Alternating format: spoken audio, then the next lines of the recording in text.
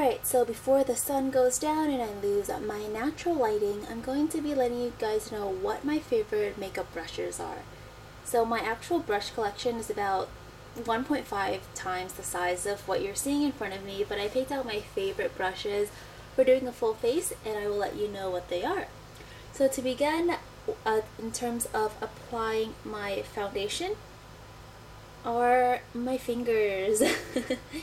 I really like the natural finish fingers give and I can control it a little bit better I feel like than a sponge and I use a lot less amount than using a sponge and I feel like a brush leaves streaks more often than not so I use my lovely fingers.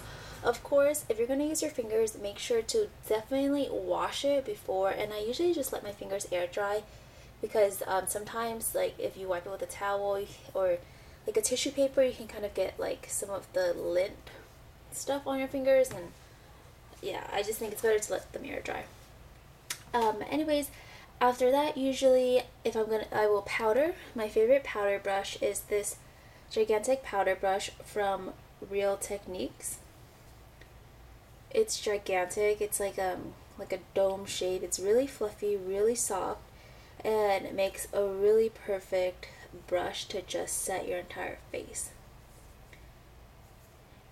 Now, if I'm going to be setting like the areas um, under my eye or in like my nose crease, I'll use this. It's by e.l.f. It's actually their e.l.f. highlighting brush, but I use it under my eye because it has that nice dome shape that fits well.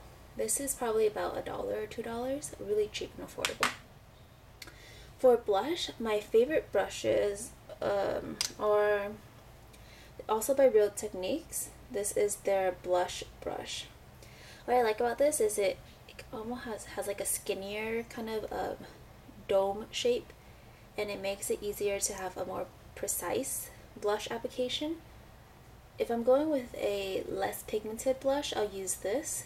If it's more pigmented, I'll use this Eco Tools kind of like multi-purpose uh, powder brush in a, in a sense because this one nicely diffuses the blush you can see that this um, the Eco Tools one is a little bit more it's a bit wider and a little bit more fluffier while the Real Techniques one is a little bit more domed and a little denser.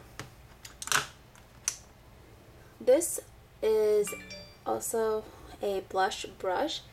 I got it in, sorry, oh my gosh, my phone is like acting up. Excuse me, you're being rude.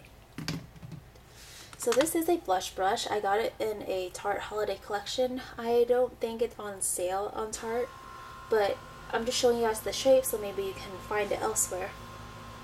It looks a lot like the e.l.f. highlighting brush, but it's definitely skinnier um, and a little bit more dense on the end.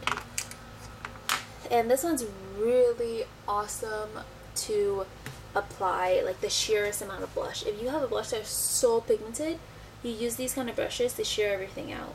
And it's really nice. Contour, I either, if it's cream contour, I will use um, this Real Techniques, what is this? Sculpting brush.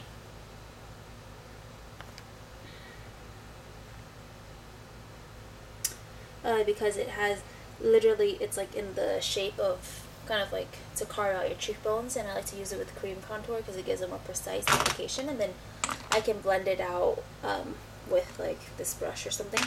But if it's a powder contour, I will use this brush, which is the contour brush by Real Techniques.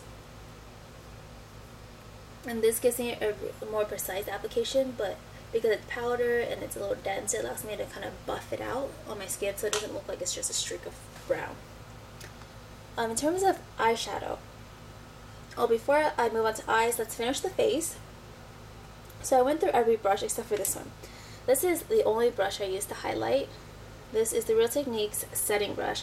And this is actually made for setting the under eye, but I use it to highlight because it's small enough and it picks up a good amount and I can just uh, glide it across my cheekbones really easily.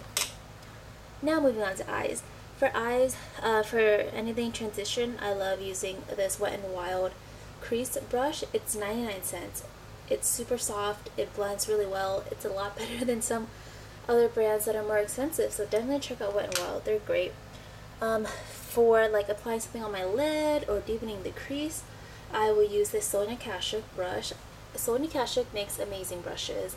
Um, they can be a little bit up there in price, but this one I bought when I first started out in makeup in 2015 so it's or 14 I'm not sure but it's been three to four years and I wash it all the time and it still performs just as well as when I first got it this is amazing um the writing has kind of worn off so I can't really see um, and I don't think they make it like in this packaging anymore but I'm guessing that the, her brushes that she has now are similar for brow bone, I use another one by Sonia Kashuk. This is actually number 203 if that's still available. And it's just this huge shader brush, but I use it because it kind of, I can use this part to um, just glide across the brow bone and it blends out nicely. And last brush is, all you need is a really good blending brush to just blend and diffuse everything else so it all meshes into one beautiful colorful or neutral look. And this is by IT Cosmetics. Was it pricey? yes. Is it worth it? Definitely. It is the most soft brush I've ever had. It is such good quality. I think it's definitely well worth the price. Alright guys, so those are my favorite brushes. Let me know if you like this video or if you would prefer me to stick to just like makeup stuff and not go onto brushes if that bores you. Um, let me know. Thank you so much for watching.